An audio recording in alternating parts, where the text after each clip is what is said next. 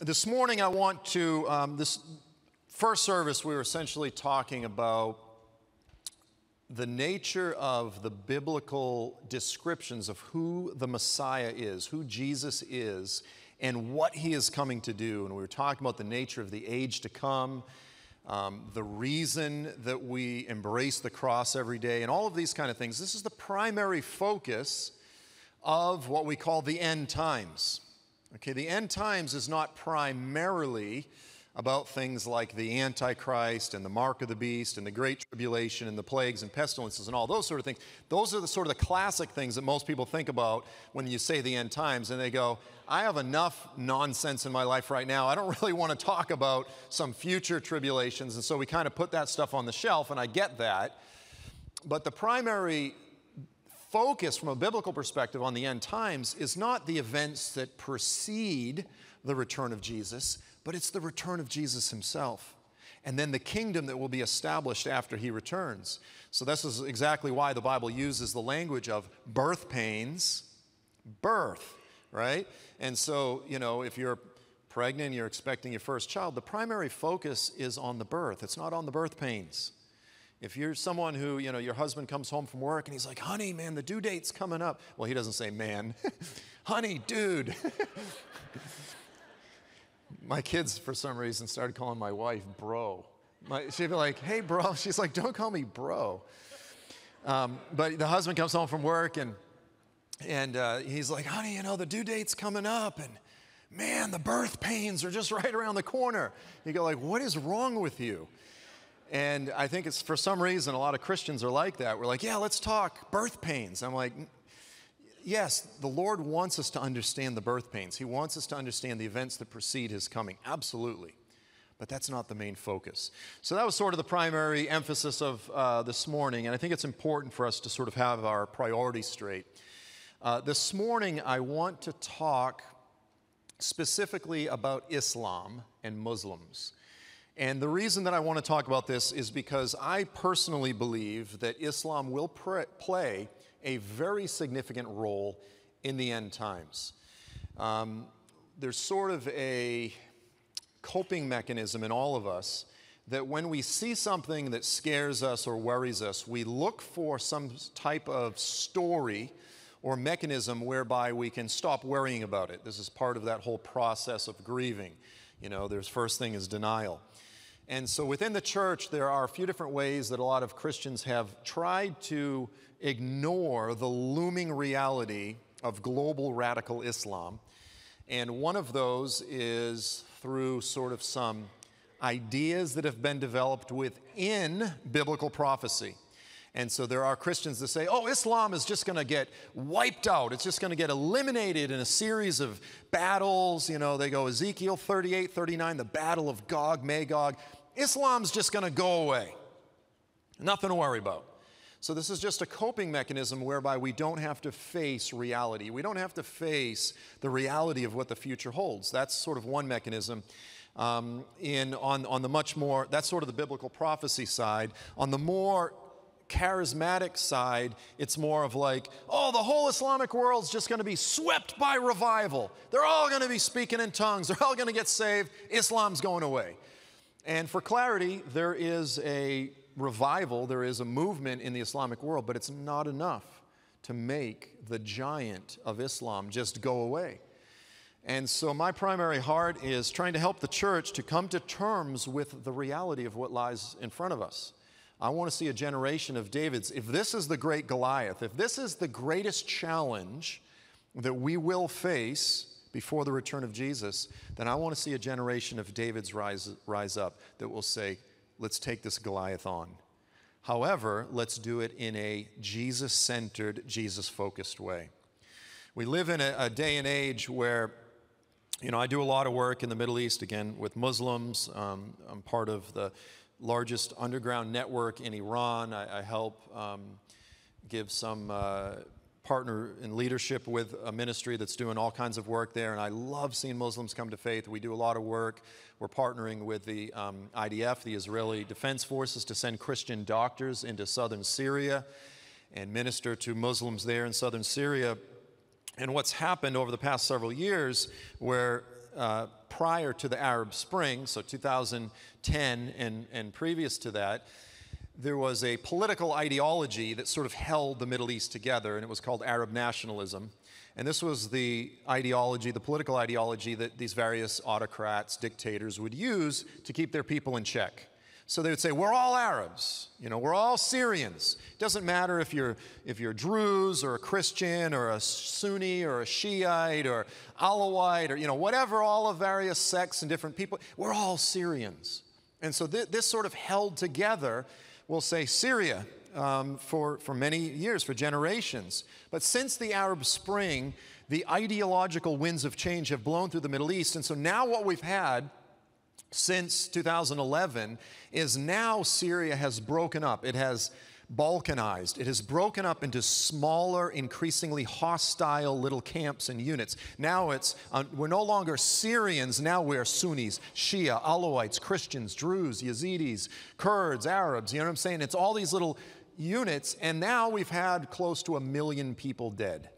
Okay, so this is essentially what's happened in Syria, and this is the, this is the plan of Satan and believe me, Jesus said in the last days, again, before he returns, he said we would see as one of the primary signs, we would see kingdom rise up against kingdom and ethnos against ethnos. That's nation against nation.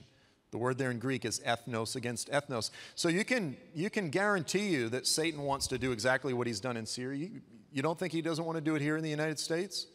Of course he does. And, and so we live in this age right now where there are voices that say, which camp are you in?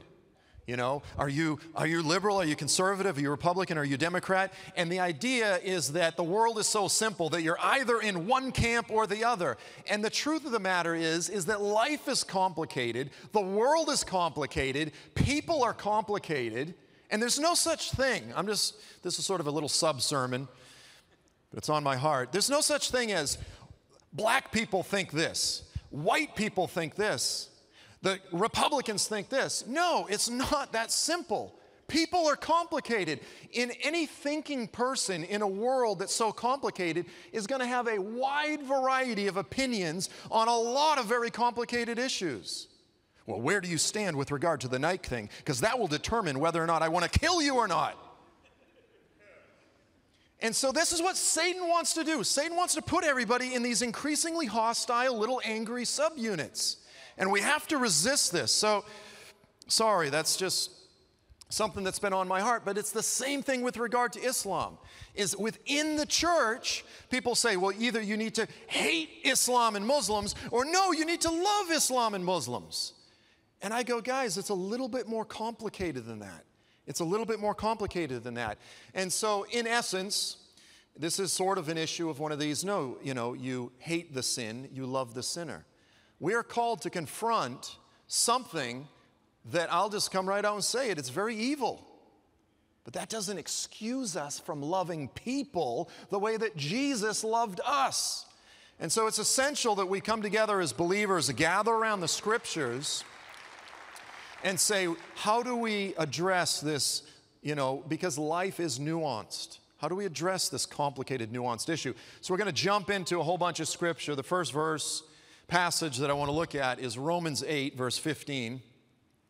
It says, Ye have not received the spirit of bondage to fear, but we have received the spirit of adoption, whereby we cry, Daddy, Abba, Father. I'm an adoptive father. I have two adoptive children. I can very much relate to the power of adoption and that spiritual bond that happens when you become the father to a child that eh, needs a father. It's a, it's a powerful, powerful thing. All of us were once formerly enemies of God. That's what the scriptures say. He died for us while we were his enemies in order that we could no longer be his enemies, we would be adopted as his children. We're children of God. We were formerly his enemies. This is what God did for us. So we understand that with the background. Jump to Genesis 16, 1 through 3, and we're going to, again, read a whole bunch of scripture. Now, this is the story of Abraham and his wife Sarah and Isaac and Ishmael. And in my opinion, this is the biblical story that sort of tells where Judaism, Christianity and Islam sort of began. Where did this whole thing come from? Where did this, where did this mess start with, if I can call it a mess? And so we begin with a story. This is before it was Abraham and Sarah, it was Sarai and Abram. The Lord had not changed their names yet. And so in verse 1 through 3, it says, Now Sarai, Abram's wife, had borne him no children, but she had an Egyptian maidservant named Hagar. So she comes up with this great idea Hey, Abram, the Lord has kept us from having children because he had promised that they're going to have children. Hadn't happened yet. They became impatient. She goes, Here's a good idea, Abram. The Lord has kept us from having children. Go sleep with my maidservant. Perhaps I can build a family through her. And it's interesting that they, this is the way we all are. We try to put a fig leaf over something, we try to act as though it's sort of the spiritual, um, godly thing. We try to cover our sin by using religious language. Hey, here's an idea. Maybe God wants to bless us through you sleeping with Hagar. That was bad idea number one. Bad idea number two, Abram agreed to what Sarai said. So, now notice the language. Sarai, his wife, took her Egyptian maidservant Hagar and gave her to her husband to be his wife. There's the language. Oh, she'll be your wife. The Lord, this is how this is how the Lord's going to bless us. Verse 4 through 6, he slept with Hagar and she conceived. When she knew that she was pregnant, now here is the beginning of the snowball. Snowball that just immediately rolls out of control. And you know right away that this was a bad idea. When she knew that she was pregnant, she began to despise her mistress. Then Sarai says to Abram, You are responsible. Now, for what it's worth, it's true. Abram should have been a man, he should have been a leader, and he should have said, Sarai? Hagar? That woman is nasty. That, that would have been the godly thing to have done right off the top. Just like, what are you even talking about? Hagar, Hagar. Um, but he didn't. And so now she says, You're responsible for all the wrong I'm suffering. I put my servant in your arms. And now that she knows she's pregnant, she despises me. May the Lord judge between you and me. Now, here's another very leaderly you know, thing. Abram goes, Your servant is in your hands. Do whatever you think is best. You know, I didn't have anything to do with it. Then Sarai turns around and starts mistreating Hagar. And so Hagar is like, I'm out of here. And she flees. She flees from the camp. Verse 7 through 10 So the angel of the Lord found Hagar, and he said, Hagar, servant of Sarai, where are you come from? Where are you going? It's very reminiscent of the garden, as if the Lord didn't know where she had come from or where she was going. She says, I'm running away from my mistress, Sarah. And she answered, and then the angel of the Lord says to her, Listen, go back to your mistress and submit to her. Go back and submit to her. And then he adds, I'm going to increase your descendants, and they will be too numerous to count. The point is this I'm going to take care of the child that's in your womb. Don't worry. Don't, don't be in fear. Go back, submit to her. I know this is rough because you can't have a multitude of children unless the one that's in her womb survives. This is, you're going to have a multitude. He goes, Look, I'm going to take care of the child. And then in verse 11, the angel Lord says, Listen, you're with child and you're going to have a son. You shall name him Ishmael, which means the Lord hears. Now, the Lord does not just randomly name children because he thinks it sounds cool. He's not like, oh, I'm going to call you Apple or whatever. Um, Gwyneth Paltrow. I'm not sorry if anyone here is named Apple or, you know, whatever blade or something, you know, like the Lord doesn't just go, yeah, that sounds cool. He speaks meaning because there's only a handful of people in Scripture that the Lord names before their birth. And one of them is Ishmael, which means the Lord hears, because that is the essence of who the God of the Bible is. He condescends, He lowers Himself. Look, He's God Almighty in heaven.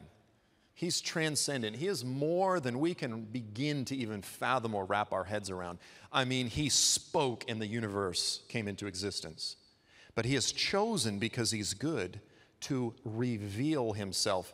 And philosophically, in order for the unfathomable to be comprehended or re- revealed to lowly humans, he has to condescend. He has to lower himself, veil himself, in order that we can begin to see a little bit of his glory of who he is. He lowers himself to hear our misery. All of the, he is the God who's constantly coming down. He shows up throughout the scriptures. Verse six, uh, 13 through 16. So then Hagar gave this name to the Lord. This is amazing. She gave this name to the Lord who spoke to her, and she said, You are the God who sees me. You are the God who sees me. Now, how many wives here in the room want a husband who does not see you? no one, right? Everyone's looking for someone who he sees me, he hears me, he feels me, he gets me, he bothers to listen. And all of us husbands are generally pretty bad at that. We're working on it. Forgive us. And then she said, I have now seen the one who sees me. Again, this is the essence of the God of the Bible. He is the one who sees us. When you lay on bed at, your bed at night and you're in agony, something's going on in your life circumstantially, He cares. And it's not just for you, it's for the millions throughout the earth. That God is condescending, He's lowering Himself. He sees us, He hears us. This is how the Lord of the, of the Bible continually reveals Himself, expresses Himself throughout the scriptures. So Hagar bore Abram a son, and he gave the name Ishmael to the son that was born. He was 86 years old. 86 years old. Now we're skipping forward to chapter 21, a few chapters later, and now their names have been changed to Abraham and Sarah. And now the Lord was gracious to Sarah as he had said, because he's always faithful. Very rarely is he faithful according to our time frame, because this, by the way, is like 14 years later. So 14 years ago, they got impatient with the Lord's promises and like, hey, maybe we'll do this whole Hagar thing. And then 14 or so years later is when the Lord actually fulfilled the thing that they got impatient about 14 years ago. I mean, this is, the Lord is always faithful. He always fulfills his promises, but almost never according to our timetable. It's an important lesson. The Lord did for Sarah what he had promised because he always does. Sarah became pregnant and she bore a son to Abraham in his old age. Abraham gave the name Isaac to the son Sarah bore. When his son Isaac was eight days old, Abraham circumcised him as God commanded him. Abraham was a hundred years old when his uh, son Isaac was born. So again, as I, as I said, I, um, uh, I have three biological children, three biological daughters, and then my wife and I adopted a son and then a daughter. We got them both as infants. And so with every one of our kids, we always, we would go like, you know, we watch these videos on how to be good parents, and we would take them home from the hospital. We're like, this one's gonna sleep in the crib. Oh, you can bet this one's gonna, they're not gonna interfere with our lives. We're gonna get a good night's sleep. They're gonna sleep in the crib. And then, like, day one, they're in bed. And I don't say anything because she's doing like 98% of the work anyway. Um, and at first, it's kind of neat, you know, because even though I know people are like, it's dangerous. Um, but, you know, there's this cute little, they, they smell neat, they're in bed, and you're excited, and they're new and fresh. Um, but they're in between Joel and his wife, Amy. And, um, and then they start like growing legs and arms. And the weeks and the months start expanding and then you're like so how long how long is this going to be in bed with us? And then eventually they kick you out. And then and then i end up down here. This is real. In this little space it's like this big between the bed and the wall and i'm down here with my blankets with the spiders at night. They're like running across your face. And, and then you, you like come up on the bed and you're like hey what are you what are you guys doing? And they're like get back down there in the hole and they like throw a bottle at you or something. And you're like, mine. And um, everyone, it was just, I'm exaggerating a little bit, but literally my son, my son would take the bottle because he was adopted, so he's nursing. I mean, he's not nursing. He's, and then when he was done with the bottle, he would be like, and he would just spike it over the edge of the bed, and like milk would get in my face, and I'd be like, "What are you, what are you guys doing?" So, um, verse 8 the child grew and was weaned. The point in all that is I can very much relate to Father Abraham. On the day Isaac was weaned, Abraham held a great feast.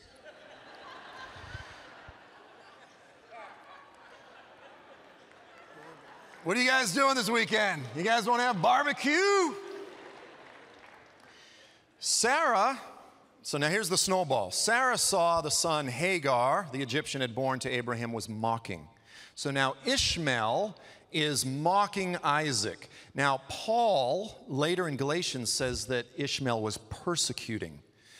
Scholars wrestle with what exactly was happening, but something was happening where the first son was giving the, the young son a difficulty. Now, remember, it began oh, hey, here's a great idea, Abram. She'll be your wife. Here's the, notice the language now. Get rid of that slave woman and her son. Sarah is mad. Get rid of that slave woman. Wait a minute, I thought this was his wife. Get rid of that slave woman and her son, for that slave woman's son will never share in the inheritance with my son, Isaac. Okay, so the thing is already completely out of control. The matter distressed Abraham greatly because it concerned his son. Abraham loved Ishmael. This was his son, 14 years old at least, and he was really upset. And God said this, and this is one of those harsh passages in the Bible where the Lord says, Listen, Abraham, I know this is rough, but you have to understand, I have a plan. I have a plan to redeem all of the world. And I chose you, and I'm turning you into a family. I'm going to turn that family into a people who will become a nation. They'll become a holy womb, and out of which comes Jesus who's going to restore all things. And you have to understand that this is tough, but there's a bigger thing at work here. And, and, and it can't be thwarted. And he goes, Listen, um, don't be distressed about the boy. Listen to whatever Sarah tells you. Because it's through Isaac that redemption is going to come. It's through Isaac that your offspring will be reckoned. And I'm going to make the son of your maidservant. I'm going to take care of Ishmael. He says, but you're going to have to kick him out of the camp. So early the next morning, Abraham took some food and water and he sends off Hagar and Ishmael and he sends them out in the, into the desert.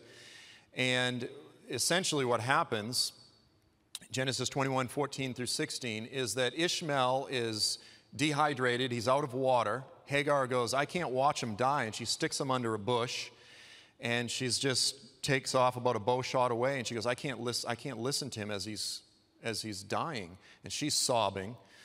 And so he's sitting there just like his father has just abandoned him. He just got kicked out of the camp. He lost his family. He lost his inheritance. And now his mother abandons him. He's sitting under a bush. And then the angel shows up again. Verse 17 God heard the boy crying. And the angel of God said, Hagar, what's the matter? Don't be afraid. Like, don't you remember I told you I'm going to take care of the boy? She said, the Lord says, Lift him up. I told you I'm going to make him into a great nation. So God opens her eyes, and she saw a well of water. she's about to let her son die, and then she's like, oh, there's a well right here. Um, it's like one of those, like, honey, have you seen my phone? You're Like, oh, sorry. So she went and she filled the skin of water, and she gives the boy water to drink. God was with the boy as he grew up. And it just, you know, we got all these details and just kind of fast forwards. It just zip, zip, zip. He lived in the desert. He became an archer. While he was living in the desert, his mother got him a wife from Egypt. Everything's okay. So here's the thing uh, the reason I wanted to read this whole story is we hear these kind of stories, like Old Testament stories. We learn about them in Sunday school, and it's almost like they become almost like fairy tales. We're detached from, they're just a story, but they're so far removed, thousands of years you know, ago.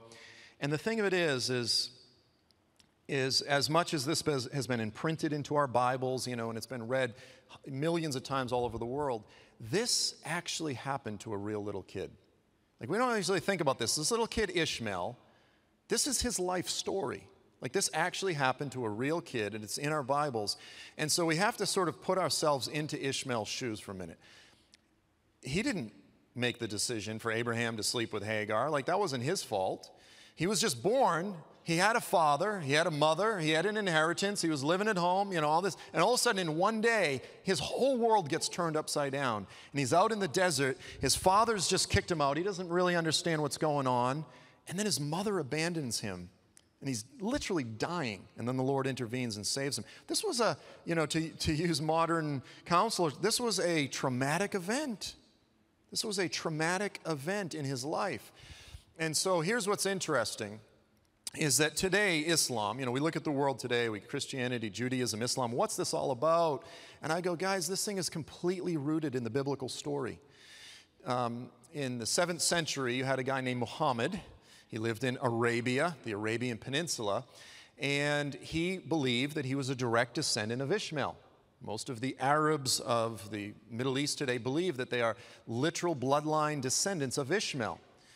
And so they have this Ishmaelite identity. And Muhammad was this young guy who, when he was young, um, when his mother was pregnant, his father died. Then, when he was a little baby, his mother died. He went to go live with his grandfather. So he had he was orphaned. I mean, he kind of had some similar trauma in his life to his ancestor Ishmael. It's actually interesting that that sort of orphan, abandoned spirit story was in Muhammad's life. And then uh, even his grandfather died when he was pretty young. He ended up marrying this woman named Khadija, who was like 15 years older than him. She was a real successful businesswoman. And he became her primary um, worker for her caravan company. He's out in a cave fasting and praying during Ramadan, because in Arabia, even before Islam, even the pagans used to have the holy month of Ramadan where they would seek their various gods, make pilgrimage um, to Mecca. And as the story goes, according to the Islamic story, this angel shows up to Muhammad in the cave and it starts choking him, crushing him.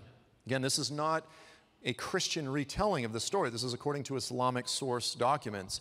It's crushing him and it demands of him in Arabic. It says, Ikra, which is recite in Arabic. This is where you get the word Quran, the recitation. And he goes, I don't know how to recite.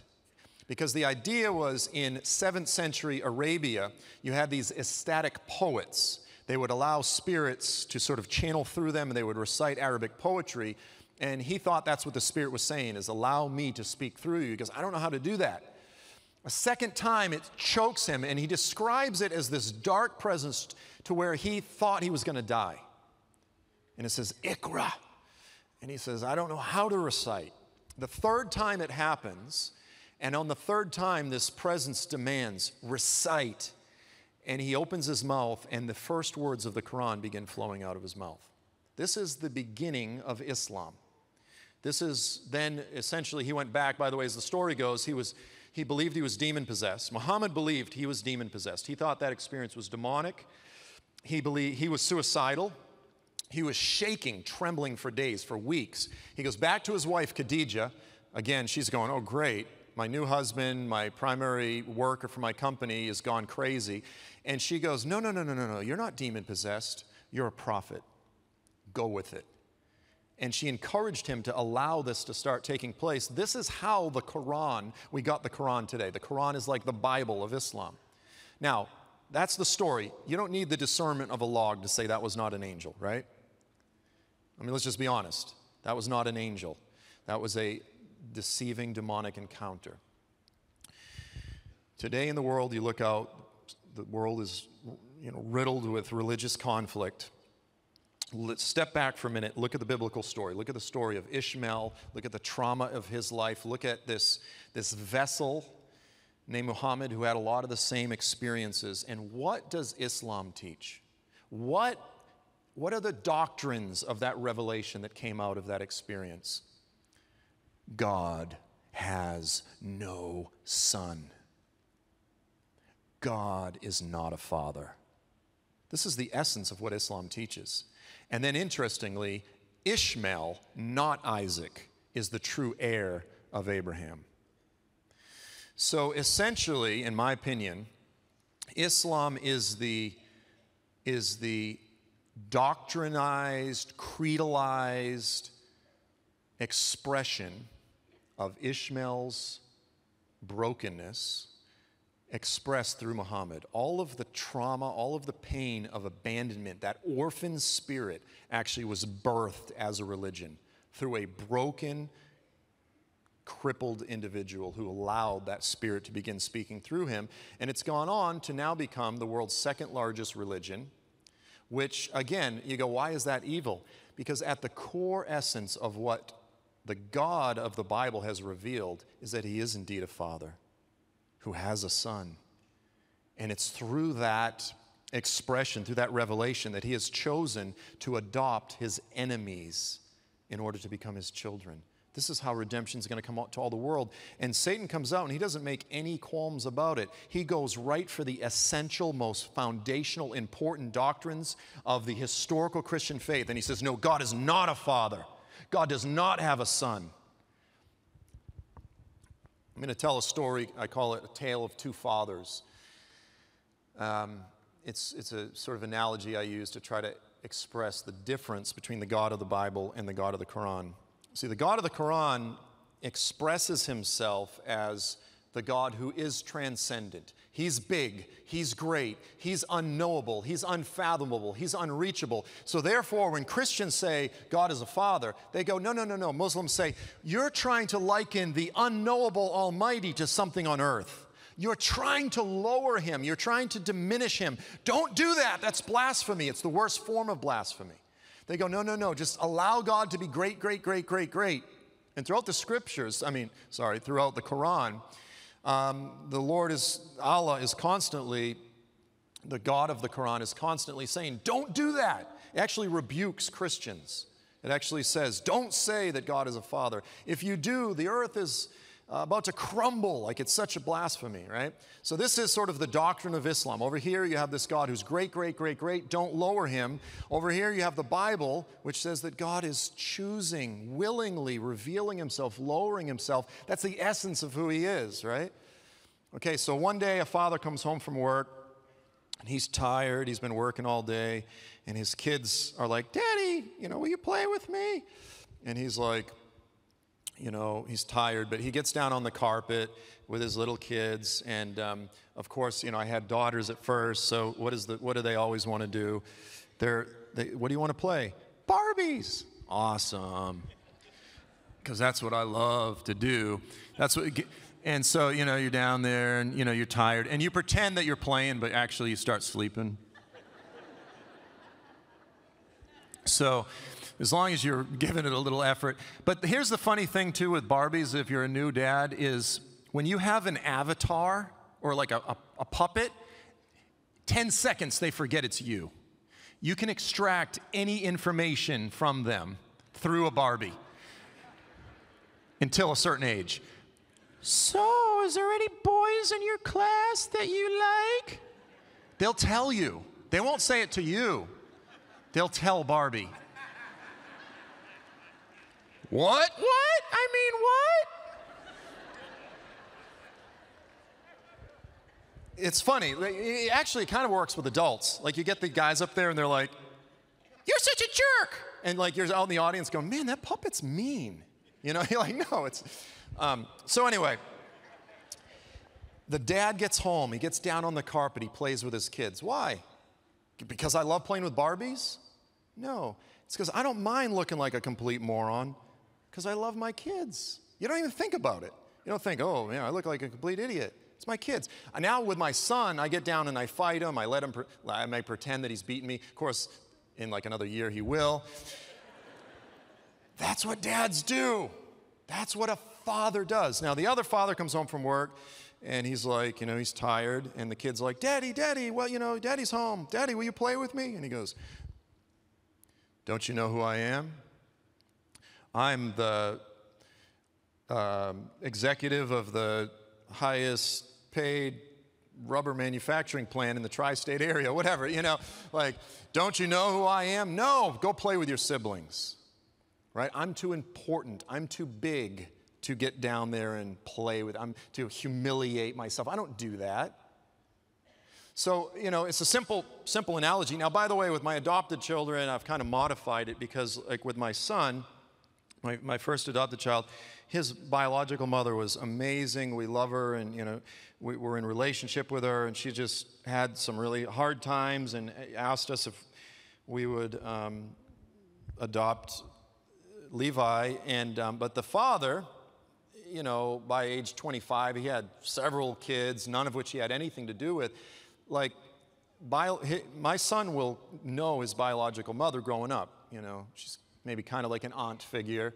But he'll never meet his dad. Like, he'll know that he exists, but he'll never, ever meet him.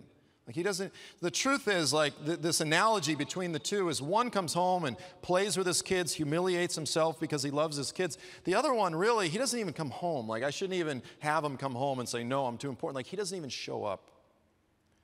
This is a perfect analogy between the difference between the God of the Bible and the God of the Quran. One God loves his children, the other one is too great. Now, who do you want to be your father? It's a pretty simple question. Which one is greater? Which God is greater? Which man is greater? The one who humiliates himself or the one who's trying to protect himself from humiliation? True greatness doesn't need to be protected. God is great. You can't diminish him, you can't lower him. He is the creator of all things. Now, here's the point Islam, the doctrines of Islam, it is the greatest antichrist doctrine, the greatest antichrist religion that mankind has ever produced. It's swept up a large percentage of the world into this false, um, counterfeit, false religion. Islam will lead no one to, to heaven. Not a single person is not going to come through the doctrines of Islam. However, if I was to come up here and put up pictures on the screen of you know, little children, you know, on the side of the road with an empty bowl and a fly on their brow and this sort of thing. You go, oh, you know, they're so, they're so needy, you know, they're so helpless. I just want to rescue them. And, you know, cute little kids tug at our heartstrings. But here's the thing Muslims, from a spiritual perspective, from God's perspective, I think through God's eyes, Muslims are the spiritual orphans of the world. They're the spiritual orphans of the earth because they are working so hard. And believe me, most of them pray more than most of us. Most of them do all the religious hoopla much more than a lot of Christians. And at the end of, the, at the end of their life, they're working for a God who's not even showing up. And the reward for all of that religious hoopla is the lake of fire. They're searching for God, believe me the majority of Muslims that I meet are searching for God, but they're looking in the wrong places. And here's the thing, guys we have the message that they need. We have the words of life. We are the stewards.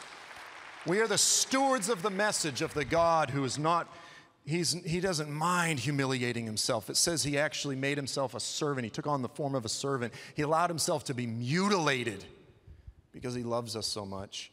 And if Muslims are ever going to come into the relationship with God that we have, we have to start seeing Muslims as people just like us who need the mercy of God just like us and say, yes, let's, let's approach this from a more nuanced perspective. The doctrine of Islam is evil. Yet there are elements of Islam of things that we agree with. It's not like every doctrine of Islam is, is evil. There are, Satan always candy coats his poison.